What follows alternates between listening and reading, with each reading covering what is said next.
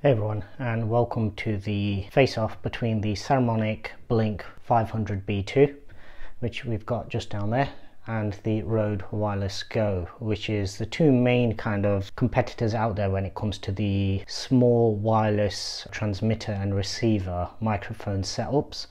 So the main difference between them, the, the Rode pretty much well known within the industry, good reputation and probably the go-to for most people. The Saramonic is more of a budget option but at the same time being more expensive and the budget option is mainly just because of how much stuff you actually get as part of the kit. Now if you go back to the unboxing video what you'll notice is that the Saramonic comes with two transmitters. So if you go back to the unboxing video what you'll notice is that the Saramonic comes with two transmitters and one receiver, whereas the Rode Wireless Go only comes with one transmitter and one receiver, and basically you cannot pair any more to the, the Rode.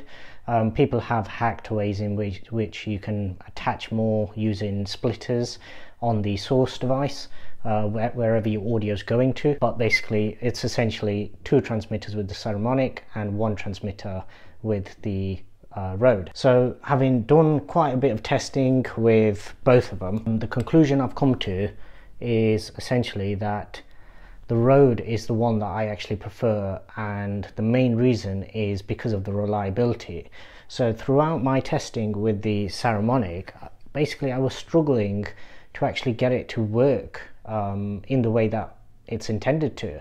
So the biggest issue was with the Rode Wireless Go, it's it's a case of you turn it on. In fact, I'll do it as as I talk. So both of them have a pair button at the bottom just there or sorry a power button so on the receiver it's at the top and on the transmitter it's at the bottom uh, main reason for that is obviously you've got your microphone at the top so you literally just turn it on and then as soon as that light comes on straight away you're paired.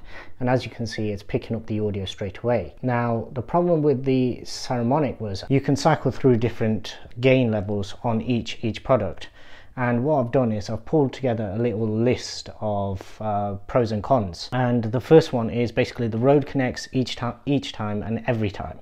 So as soon as I connected it using a Rode cable. So I used the Rode cable on both of them just to be even and fair. Not that I'm thinking there's gonna be anything different between this and the one that came with the Saramonic um, and then you attach it to a lightning port and then essentially that then goes into the iPhone as so and then this end can connect to either the Rode Wireless Go or the Saramonic depending on which one you use it. So what I did find was initially I was actually trying it with a third-party one. So this is just a longer one that um, I had lying around the house. It works fine with every other accessory. However with these particular microphones what was happening is it wasn't actually detecting this, it wasn't uh, showing up as a certified device. So what was happening is the iPhone was still using its built-in microphone. So all of my initial testing, I was kind of confused because everything sounded the same and everything sounded really muffled. And I've actually posted a video where it's pretty much similar, similar story where the sound just isn't great. So what I then found was obviously you do need to try the original dongle or uh, an actual certified one, I'd probably suggest just use the one that came with the phone or buy one straight from Apple and then use that. And then since I've used this, uh, the Rode has worked every single time. What the Saramonic did was basically when I've actually gone to connect it, so we'll power, power the Saramonic up which is just a case of holding the buttons and then on the Saramonic each transmitter basically has some gain levels and you you just go up and down now if you go all the way down essentially what you get is you get a flashing light for showing that it's basically paired with the receiver. But what you also get is you get these little LEDs and essentially there's six settings. So you go all the way down and the lights are off. You then go so this is setting one. That's now saying two three four five and six. Now what I was finding was on setting one, so with all the lights off, it was uh, working fine. It's it sent the signal through to the iPhone. As soon as I went to two, three, four, it would do nothing. And then it was only when I got to six that it would then send a signal again. Anything in between, and it was basically giving me this uh, interference. And I tried it several times. I disconnected it, um, restarted the phone, tried all the usual stuff, but it would do the same thing every single time. Where instead of recording any audio, it would just record a almost like a static interference. And obviously this is during my testing and it did this. So that's not something that I can afford with videos where I'm trying to get stuff done in a single cut so for that reason that straight away pretty much ruled the Saramonic out now I have got a few other things that I did actually make a list of so we'll just quickly go through those as well so the Saramonic worked on lower and high gains but nothing in the middle Saramonic audio tripped out creating a pulsing sound on all middle settings no screen on the Saramonic makes it a lot harder. Um, when I first unboxed the Rode, it wasn't really that big of an issue. So I was thinking, as long as it does its job, then then it's fine. But the thing is, without a screen on the receiver for the Saramonic, you have no way of actually knowing, especially if you're not using an app um, that displays the audio. So for example, on the standard uh, stock camera app that I use for the most part when I'm making my videos on the on the iPhone, it doesn't display your audio like it does in Filmic Pro. Now I do have Filmic Pro,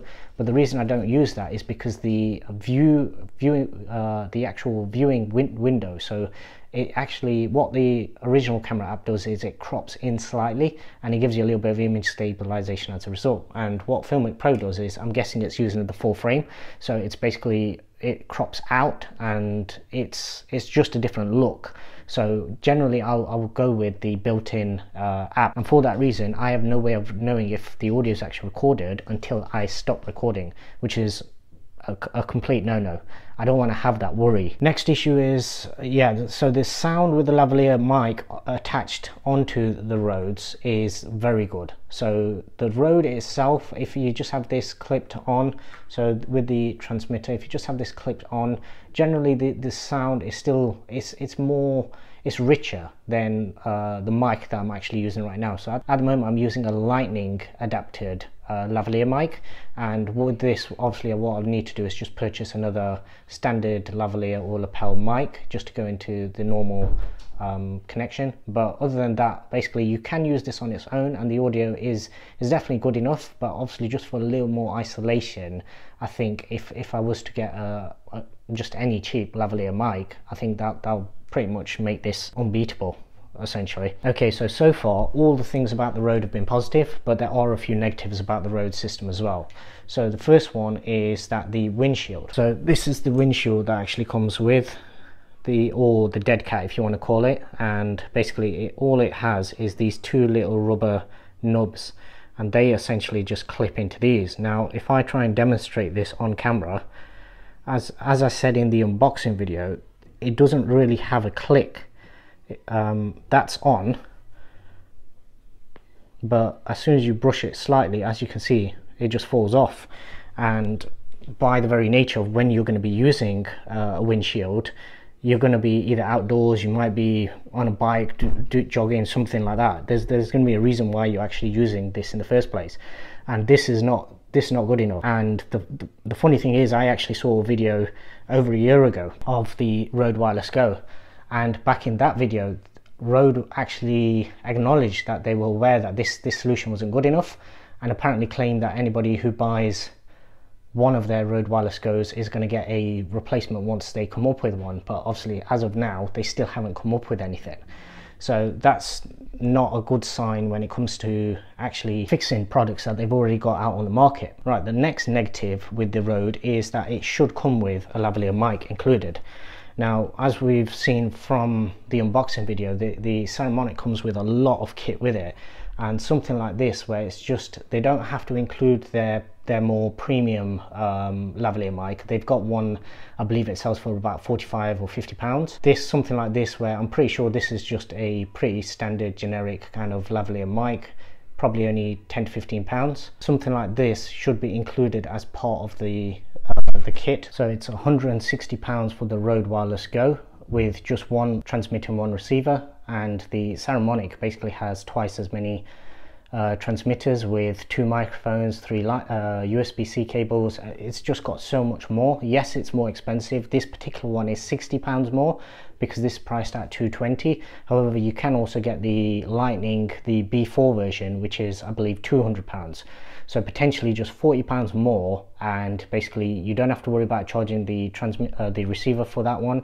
And basically you have two transmitters you have you're still probably going to have the two lavalier mics you're still going to come with all the other accessories. So for the price it's it's not that expensive for them to just include uh, a lavalier mic and basically give you a full kit. It's not the fact that they're cheaping out or anything, it's just the fact that this system works very, very well, but it's not a complete solution. So for occasion, uh, some occasions, you are going to want to just clip on a, a lavalier mic just to get a little bit more isolation from the actual uh, microphone system. So for that reason, I think it should come with a lavalier mic. Uh, the other thing I did note is so the clips on the back of uh, the Rode and the Saramonic. The clip on the, the Rode, it's it's stiff enough to where it will hold and I've actually tested this in cold shoe mount or hot shoe mounts, whichever, way, whichever one they're called.